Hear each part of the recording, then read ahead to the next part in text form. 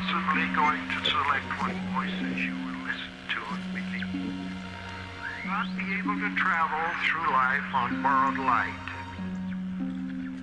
The voice you must learn to heed is the voice of the Spirit. The Spirit's voice is ever present, but it is calm. The adversary tries to smother this voice with a multitude of loud, persistent, persuasive, appealing voices.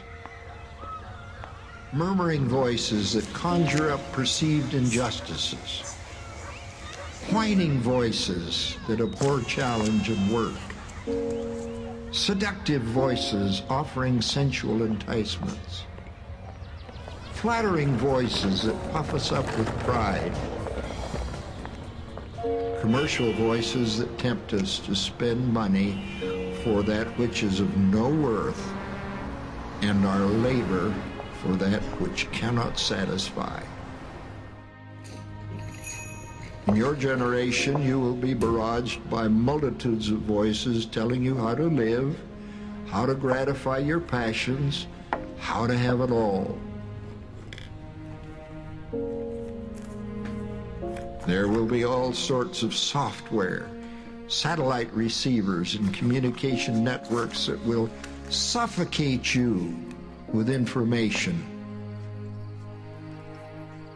You will be bombarded with evil and wickedness like no other generation. As I contemplate this prospect, I am reminded of T.S. Eliot's words. Where is the wisdom we have lost in knowledge? Where is the knowledge we have lost in information?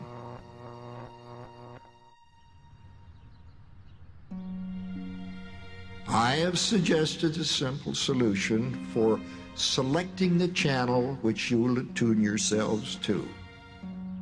Listen to and follow the voice of the Spirit. This is an ancient solution, even eternal and may not be popular in a society that is always looking for something new. This solution requires patience in a world that demands instant gratification. This solution is quiet, peaceful, and subtle. This solution requires you to walk by faith in a world governed by sight. Learn to ponder the things of the Spirit and respond to its promptings. Filter out the static generated by Satan.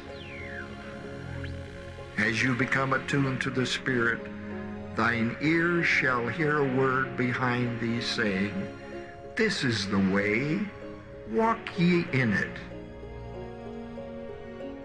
Hearkening to the voice of the living God will give you peace in this world and eternal life in the world to come. These are the greatest of all the gifts of God.